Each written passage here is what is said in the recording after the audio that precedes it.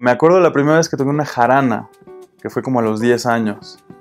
Teníamos un... eh, bueno, en casa siempre hubo jaranas, eh, requintos, los instrumentos estaban en casa. Y yo me acerqué primero a una jarana, tocando naranjas y limas, limas y limones. La música es algo que se absorbe desde pequeño. Hay quienes lo toman en casa, otros en concierto. El caso de Pablo es emblemático. Él viene de una familia de artistas. Y ya luego una guitarra, eh, justo más o menos hacia los 11, 12, mi papá tenía un, eh, un gran amigo argentino, más joven, era en realidad hijo de un amigo suyo, de Carlos Patiño, el poeta, Vladimir Patiño. Eh, él vino a vivir a México y era un rockero y hacía música para comerciales y estaba muy metido en la escena y él tocaba la guitarra y tocaba muy bien, gran músico, tenía su proyecto, estaba haciendo cosas como onda Fito Páez, así. Él murió des- desafortunadamente en el 94, pero me acuerdo de esa anécdota del día de su cumpleaños, el día que murió, por cierto, un, poco una tragedia.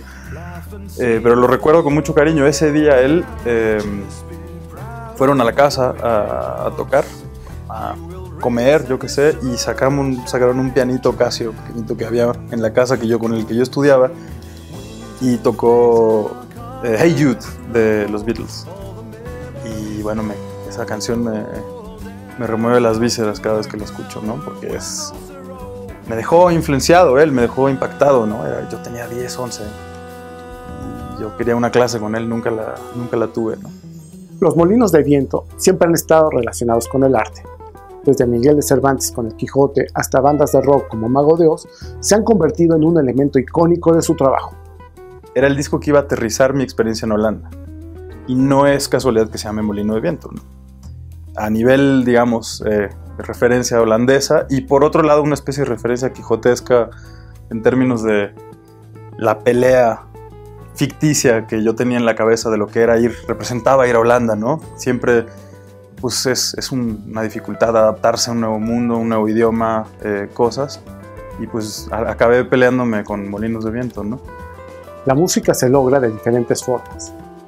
Hay quienes se apegan a la técnica y son rígidos con las convenciones. Otros, sobre todo los jazzistas como el caso de Pablo, trabajan más desde la víscera, desde la intuición.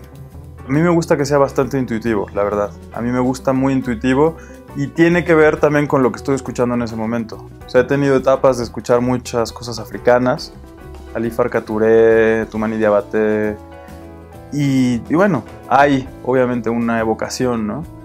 Cuando estoy escuchando más a Gismonti o a otros brasileiros, Chico Piñeiro, eh, obviamente siempre hay una, no sé, una inclinación por esos sonidos, pero bueno, yo creo que el- va, es más libre, es mucho más libre, viene de un poco de la víscera, ¿no? No es fácil encontrar el camino. A veces tardamos años en ubicarlo.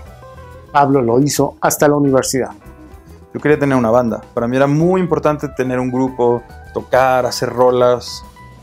Y bueno, yo entré de hecho a la licenciatura en Historia en la Facultad de, de Filosofía y Letras y la dejé después de un semestre. Yo creo que ni completé el semestre. Me tocaban las clases con las vacas sagradas de la historia y digo, sin ofender, me quedaba yo dormido y mis cuadernos estaban llenos de letras de canciones y de dibujos de mí tocando la guitarra y hacía pentagramas en los me inventaba mis rolas al mismo tiempo que observaba no la ventana en las islas y yo me quería salir corriendo de ahí porque bueno pues ahí estaba no estuvo yo siempre tuve bandas de rock siempre había como esa inquietud Para Pablo Reyes, parte fundamental de su trabajo son los conciertos, porque lo ponen en contacto con su público.